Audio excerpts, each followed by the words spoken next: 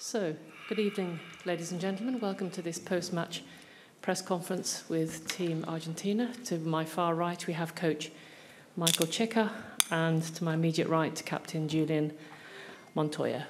Please, as usual, do wait for the microphone. We have simultaneous interpretation uh, into English, French, and Spanish, and it would be helpful if you could just introduce yourself. We start at the front with Frankie, please. Thank you. Buenas noches, Frankie de Laranés. De todos los escenarios posibles, de todo lo que pensaron este partido, ¿se imaginaron que podía ser así? Eh, ¿Así en qué senso?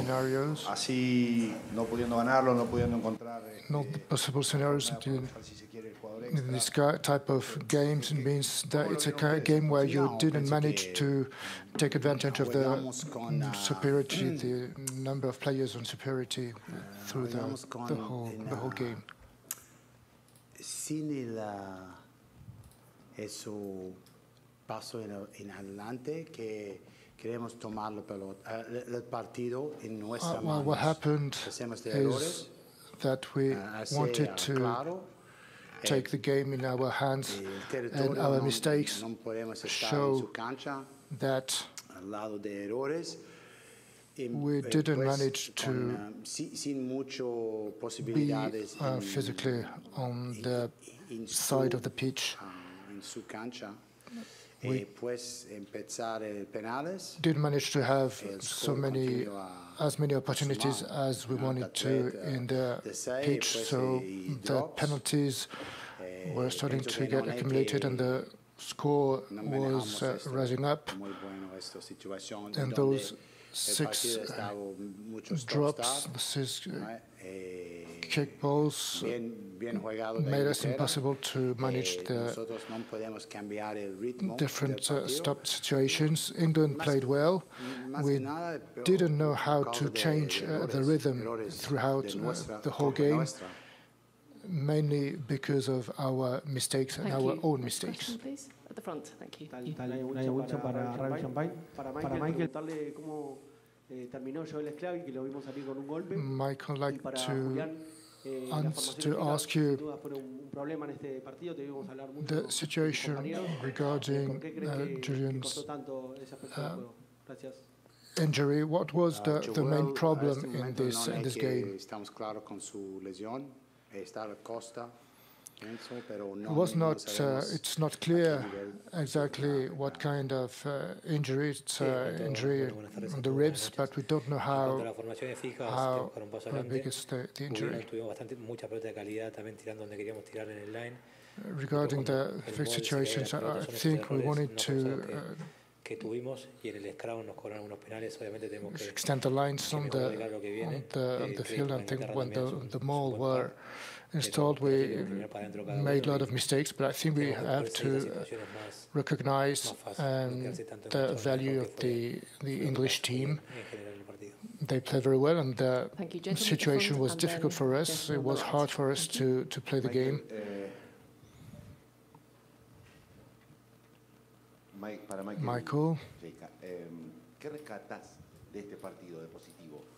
¿Qué podés eh, what uh, decirnos a nosotros are the positive lo que vos aspects you're taking from that game unos cuantos días por delante? No, look, the- the- to non è che to keep on working for next week? I think. Maybe the eh, positive that we can take from that game is we're- we're not, not going to, to mentalidad que el make huge modifications in our preparation. Día del partido. Pienso que está, éramos más, um, como antes, But I think, esperando las oportunidades. as I already said. So, è, We cannot only wait eh, for the opportunities uh, claro to, to come from nothing. We have to create our own opportunities. The- en dos semanas. The ¿eh? world Claro, is uh, keep moving on. We have the funcionan en el opportunity to está mucho de nosotros change the situations primera vez que- throughout que uh, next games. Claro que cosa necesita con mentalidad. en- For some of us- no, no necesitamos cambiar mucho en la en preparación y para ejecutar. eh, It's not the first World Cup, so we all know that Thank we need much, gentlemen, there. we need you for your some continuity. So we are not going to modify, change our preparation.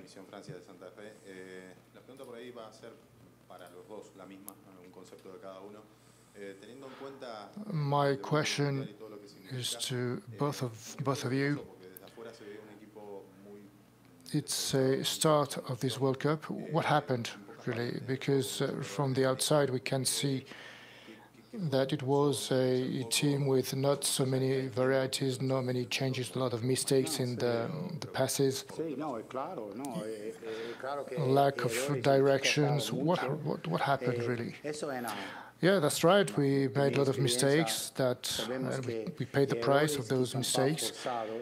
And in my own experience, we made some mistake, some mistakes enforced mistakes due to a lack of concentration in the important moments. Regarding those uh, mistakes, the mistakes, it's a different story. But uh, we are talking a lot about enforced mistakes that uh, we did in this game today. We worked a lot on the concentration and the, on the focus to have in the different actions. And I think our team really focused on the important part of the game during the preparation uh, phases but uh, it's still always still a different thing to uh, to do that on the field on the pitch. We clearly lack lacked of concentration, but as a coach, one needs to uh, be able to apply what we did during the training sessions.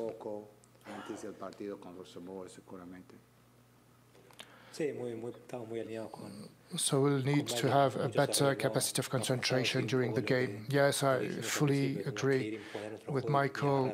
We made a lot of mistakes. And uh, forced mistakes, I think we... Thank you. Uh, Owen Slot at the back, please, in English.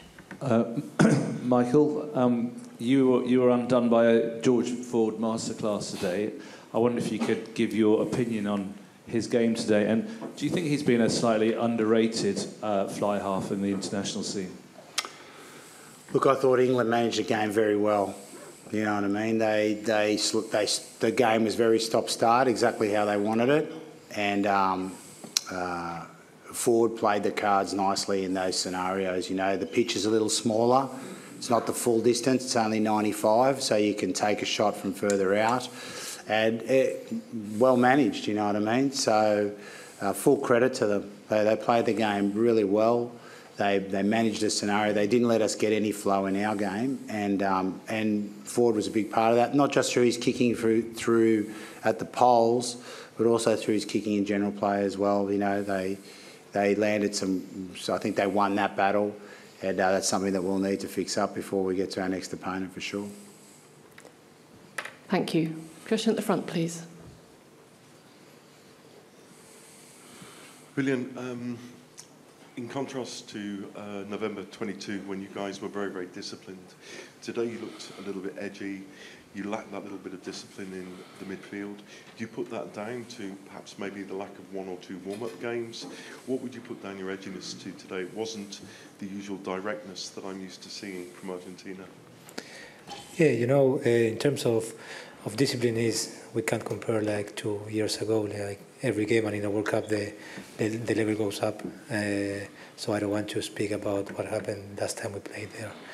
And now it's a different level. But yeah, in terms of discipline, we need to be much more disciplined, as the word said. Uh, credit to England, they were they were good in the in the breakdown, but then we, we there were lots of mistakes that we did in in our own terms. So yeah, we need to go and take the opportunity, not wait the opportunity to to present. Uh, yeah, you, you say it, we were as disciplined that we we should be, and most of those penalties were in our territory, so we let them start uh, putting score pressure. Uh, but yeah, lots of things to to improve. Now we have time. We need to look inside each other, stick together, and we have a game ahead. Thank you. Julián, Andy? acá. Tanto para Julián como para Michael. Históricamente, el seleccionado argentino se caracterizó por tener muy buen scrum y en el día de hoy, 7 versus 8, le generaron dos penales en contra en esa situación de juego. Primero, ¿qué explicación le encuentran justamente a que hayan conseguido dos penales en esa situación de juego cuando históricamente Argentina se destacó en esa formación? Y en segundo término, ¿qué te dijeron tus Would you compañeros en explain that? Leicester al Because finalizar? usually Eh, Argentina is una very ronda, strong in the, the scrum. So how would you no sé qué palabras te dieron de justify apoyo that there were so many mistakes de lo made in the, in the scrum? And uh, Julian, what, what were the words of, of support you received regarding that game? In a Scrum, per esempio, well, en mass parte ellos juegan con Regarding what happened in the scrum, viene el, el Tulani um, per, per jugar. per- The English were playing eight. ese mismo sul flank. So, eh, Tulemi was on the side, so there were eh, two que para mí era una penalties due to technical mistakes from us.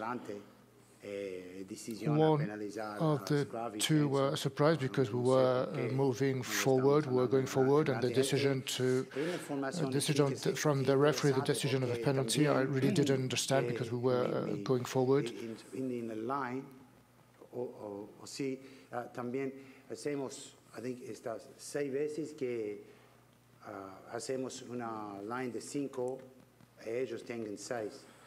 And six times we created a, a lineup for, of five players, and they formed a, a line of six, and the referee didn't notice it, so there were eh, some eh, unclear situations at some queremos And obviously, we need to improve our Scrum uh, game if you want to improve other sectors as well. But I don't think we had some difficulties on the Scrum specifically.